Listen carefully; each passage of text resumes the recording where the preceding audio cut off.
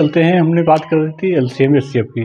L C M S C F की मैंने बात की थी आप लोगों को। अब आते हैं S C F L C M बाद में पढ़ाऊँगा, पहले S C F S C F में मेन फैक्टर मैंने बता दिया था आपको मल्टीपल फैक्टर बता दिया था। अब एच सी एफ़ निकालते कैसे हैं? एच सी एफ़ निकालने के कई मेथड हैं, मैं दो मेथड बताऊँगा।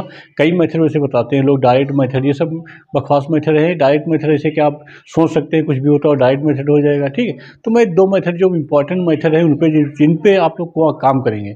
जिन पर हम लोग काम करते हैं, उनकी बात करता हूँ। सबसे पहले बात कर रहा हूँ किसकी? एच सी एफ़ की। एच सी एफ़ को मैंने बताया था आपको, यहाँ पे H C F H C F मतलब हाइएस्ट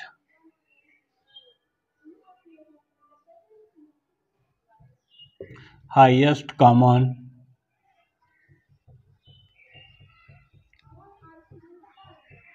फैक्टर, ठीक?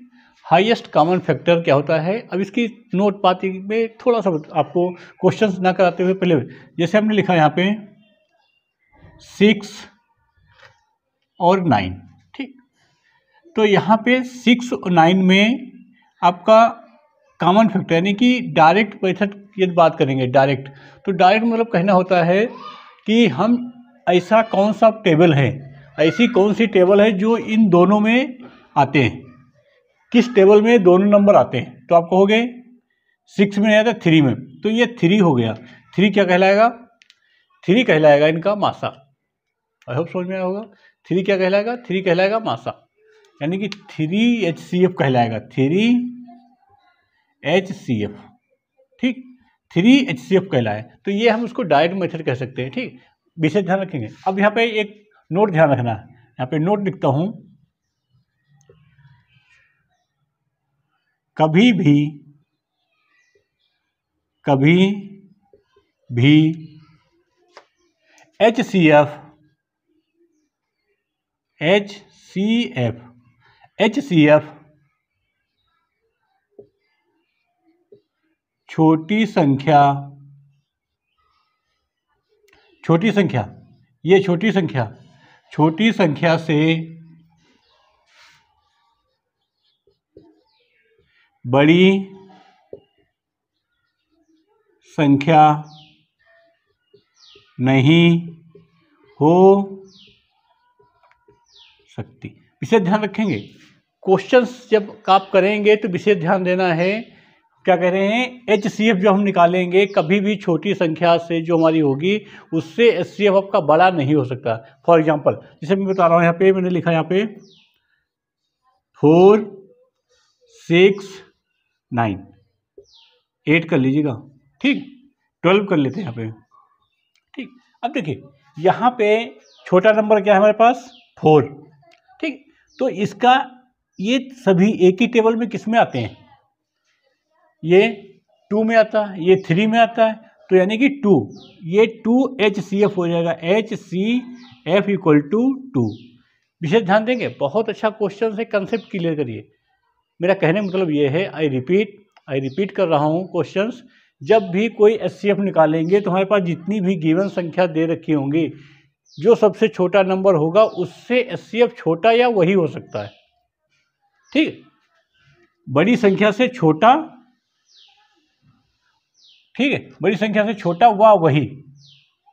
व वही।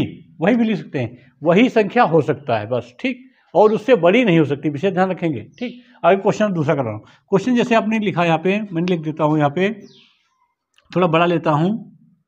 टेन, ट्वेल्व, फिफ्टीन और ट्वेंटी। विशेष ध्यान देंगे, यहाँ पे हमारे पास मेरा कहने का मतलब ये है कि आप यहाँ पे क्या है? ये नंबर सिक्सटीन कर दीजिए, बहुत अच्छा हो जाएगा, सिक्सटीन कर दीजिए, ठीक? तो यहाँ पे क्या है? टेन है, ट्वेल्व है, सिक्सटीन, ट्वेंटी। तो ये सभी नंबर हमारे टू से डिवाइड है। क्या फोर से डिवाइजिबल है? नहीं है ना। तो ये फोर यानी कि टू हमारे पास एच सी एफ़ हो जाएगा। ये एस कैसे निकालते मैं अभी थोड़ा सा रुक के बताऊँगा। एस आप जानिए। ये सब, ये सभी मेथड क्या कहलाता है? डायरेक्ट मेथड आपको निकालना होता है, ठीक? क्वेश्चंस पे आते हैं। क्वेश्चंस एक ही क्वेश्चंस के दो तरीके बताऊँगा, जो आपको समझ में आए उससे करिएगा, ठीक है? हाँ आगे चलते हैं। क्वेश्चंस जैसे हमने लिखा यहाँ पे ट्वेल्व ट्वेंटी ट्वेल्व और ट्वेंटी का एस एफ़ निकालिए। तो फ़र्स्ट मेथड इधर लिखता हूँ। First method and second method. ठीक? फ़र्स्ट मेथड को आप प्राइम फैक्टर भी कह सकते हैं।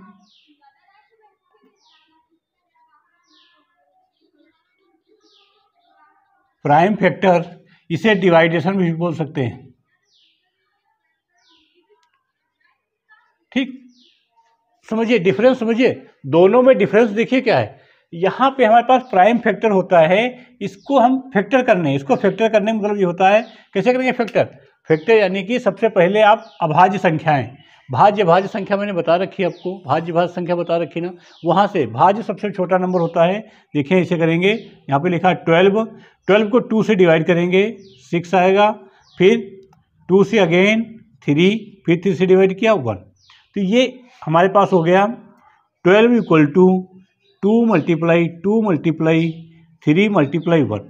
ये इसके क्या कहलाया अभाज्य फैक्टर, अभाज्य गुणनखंड कहलाया ठीक? अच्छा मैं ट्वेंटी का निकालता हूँ यहीं पे। जैसे ट्वेंटी का निकाला आपने, two, ten, two, five, two, one, ठीक? तो यहाँ पे लिखा हमने, क्या लिखा देखिए? Twenty equal to two multiply two multiply, five multiply one. तो यहाँ पे H C F S C F जो दोनों में कॉमन होगा, वो एस सी एफ़ कहलाएगा। तो यहाँ पे दोनों में कॉमन नंबर ये है।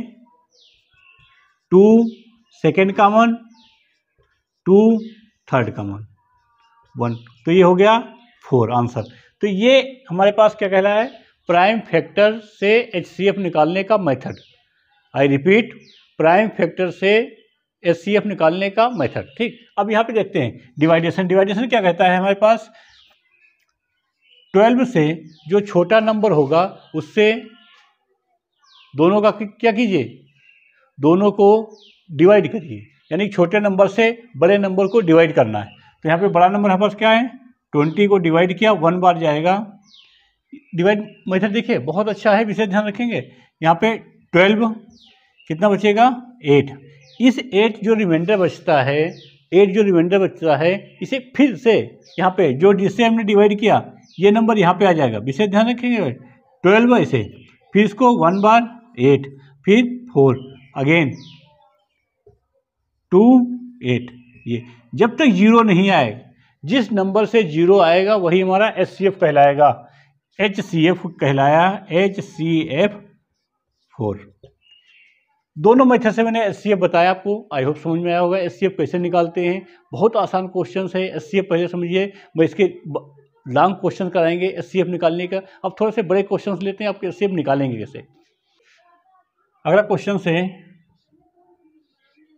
102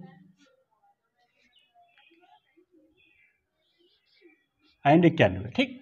इसका एस निकालना है। एस दोनों मेथड से निकालेंगे। आप देखिए, पहले मैंने बताया, इसके आपको फैक्टर करने हैं। फैक्टर करने में तरीका बताया था। सबसे पहले फैक्टर उससे करते हैं कि यहाँ पे क्या है? ये हमारे पास फैक्टर करने के तरीके देखिए, यदि हमारे पास ये इक्यानबे है नाइन्टी वन ठीक नाइन्टी वन का परफेक्ट स्क्वायर कौन सा है?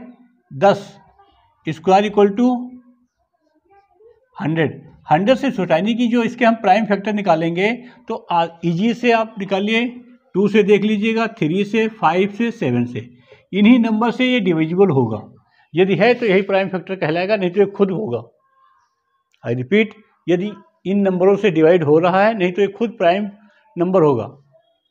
ठीक? तो यहाँ पे हमने क्या कहा? इसको डिवाइड किया आपने। हंड्रेड को टू से डिवाइड किया, टू, फिफ्टी वन, फिर थ्री से डिवाइड होगा सेवेंटीन फिर सेवेंटीन से वन। ठीक? इसको डिवाइड किया नाइन्टी वन।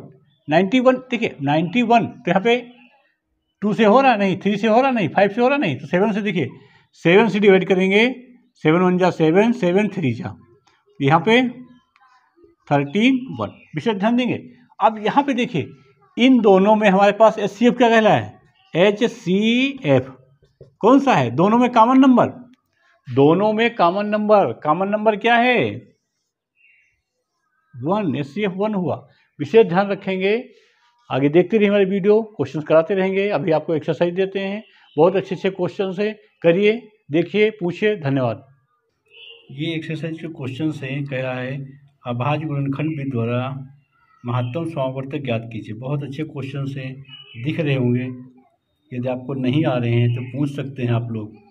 देखते रहिए, इसके आगे मैं करा रहा हूँ। भाग विधि द्वारा भी कराया है। भाग विधि द्वारा भी कर सकते हैं। दोनों को एक ही विधि से कर सकते हैं। देखिए, करिए, समझिए। ये क्वेश्चन से प्रैक्टिस के लिए। भाग विधि द्वारा आप लोग सॉल्व करिए, भाग विधि द्वारा किए गए क्वेश्चन देखिए, भाग विधि द्वारा।